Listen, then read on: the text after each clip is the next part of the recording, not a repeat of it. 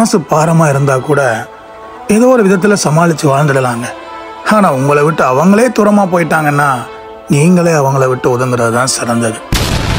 ஏமாந்து போன எல்லாருமே நம்பினது ஒன்று தான் ஆரம்பத்தில் அவங்க உங்களோட செயல்பட்ட விதத்தையும் அந்த நாடகத்தையும் தான்.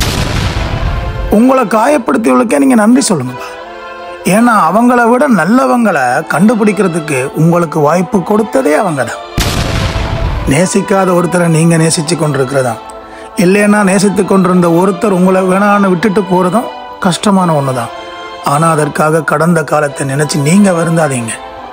நீங்கள் ஒரு தவறான நபரை நம்பி உங்கள் நேரத்தை வீணடித்தது தான் உண்மை.